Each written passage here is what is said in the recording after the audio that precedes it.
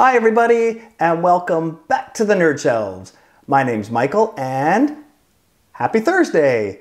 I hope wherever you are in the world that you are having as much of a beautiful day as we are having here off the west coast of British Columbia in Canada. It is a gorgeous day. My kids are out in the back garden. They're playing barefoot. It's just couldn't ask for a better day. So I hope everybody's enjoying your Thursday. Now, today I wanted to talk a little bit about board game inserts. So I am titling this one The Good, the Bad, and the Why Bother.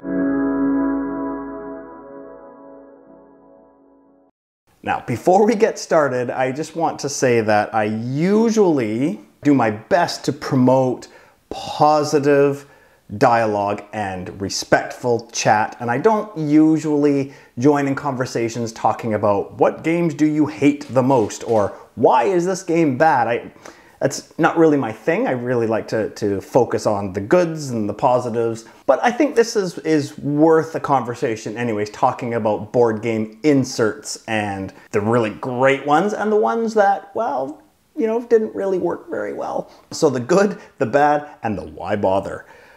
I'm going to start in reverse order and I'm going to go with the why bother. There is one game that comes to mind that I did not understand why they even included this insert. Um, it wasn't really an insert, it was more of an organizer, but that's Bärenpark.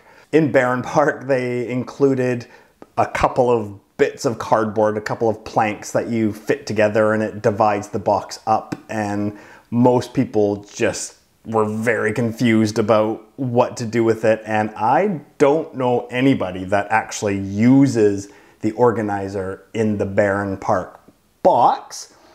If you do and you make it work successfully, leave a comment below and maybe throw a picture our way. I would love to see it because I still to this day can't figure out how that works. Now, we're gonna go to the bad. Now, I say the bad because I really appreciate the effort and you know, I, am kind of a sucker for a really great insert in board games.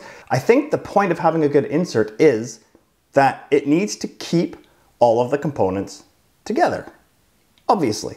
Now, many people store their board games horizontally, and many people store their board games vertically. So I think, in my opinion, a good board game insert should be able to hold the components together regardless of whether you store your board games horizontally or vertically.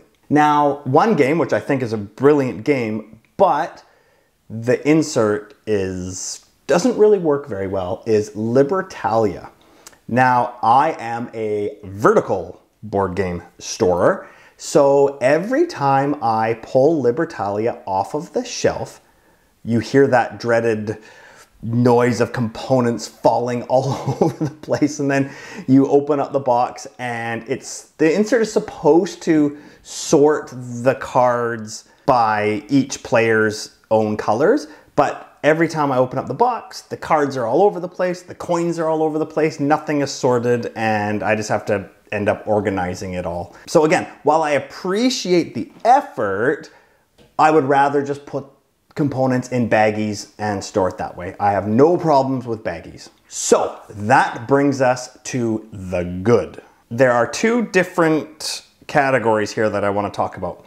The first one is Games like Scythe and Wingspan, while they don't really have a proper insert, what they do have printed on the side of the bottom part of the box, they show you exactly how all of the components fit back inside the box and how well organized it is.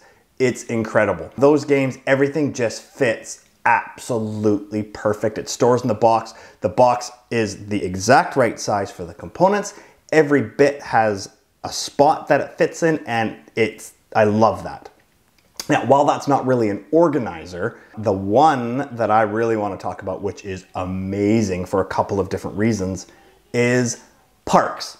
Parks has an incredible insert for two reasons. One, it's beautiful. I mean, it's it, the component holders look like logs and everything fits perfectly and nothing ever gets spilled.